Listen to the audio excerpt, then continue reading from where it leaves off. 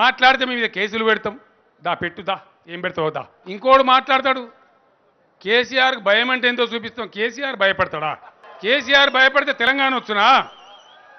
ఎన్నేళ్ళు కొట్లానేం ఎన్ని రోజులు కొట్లానేం ఎక్కడ దాకా పోయినాం? కాబట్టి ఈ పిచ్చి కూతలు మానుకొని ఒకటే ఒక మాట.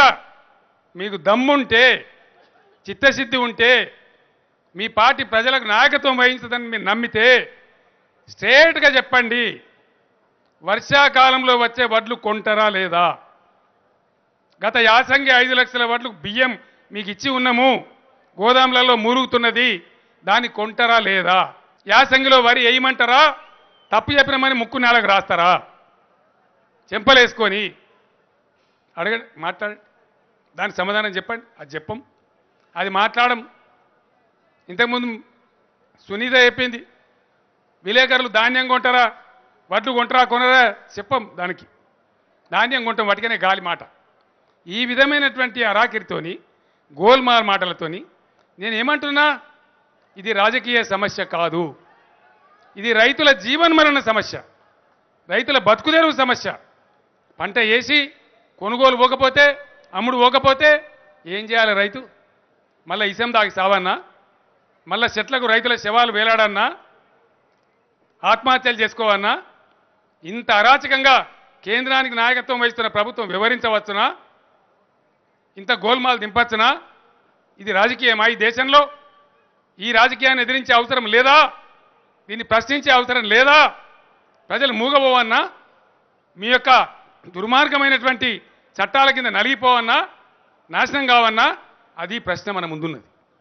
అది మనం కొట్లాడేది. ఈరోజు నేను ఒకటే మాట చెప్తా ఉన్నా. అయా ప్రధానమంత్రి గారు మీకు దండం పెట్టి రెండు చేతులు జోడించి వినయపూర్వకంగా నేను అడుగుతా ఉన్నా. అనురాధ కార్తి వస్తుంది పంతొమ్మిది తారీఖు వస్తే. మేము యాసంగిలో వరి వెయ్యన్నా వెయ్యవద్దా ఒకటే మాట చెప్పండి. చెప్పండి మీరు తీసుకుంటారా తీసుకోరా? మా సావేదం మేము చెత్తం ఏతే ఏం చేయాలో ఆలోచించుకుంటాం. ఏ దారి పట్టానో ఆలోచిస్తాం. అది చెప్పకుండా అబద్ధాలు మాట్లాడుతూ ఉన్నారు. రెండు మూడు రోజులు వేచి చూస్తాం. ఆ తర్వాత యుద్ధాన్ని ప్రజ్వలింపజేస్తాం.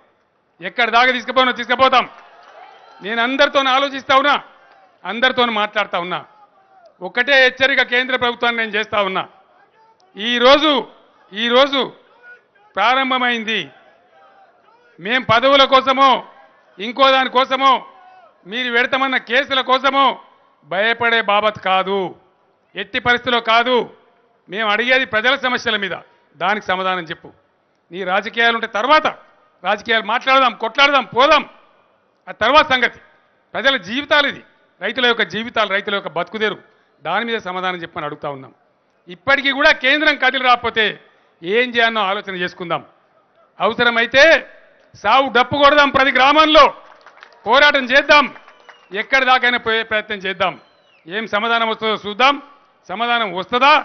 రాదా? ఏం చెప్తారో చూద్దాం. ఇక్కడి నుంచి పోయి మన మంత్రులు మన ఎమ్మెల్యేలు.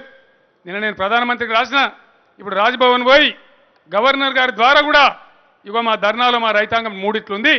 కొనెడతారా లేదా? పాలసీ చెప్పండి అని చెప్పి మళ్ళా గవర్నర్ గారు కూడా మొరబెట్టుకుంటాం.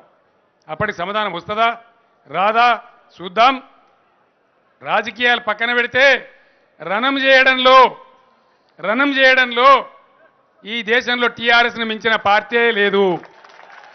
మేము యుద్ధం ప్రారంభించితే చివరి దాకా కొట్లాడతాము. దేనికి కూడా భయపడము. అదే రకంగా ముందుకు సాగుతాం. తెలంగాణ రాష్ట్ర రైతాంగ ప్రయోజనాలు కాపాడుకుంటాం.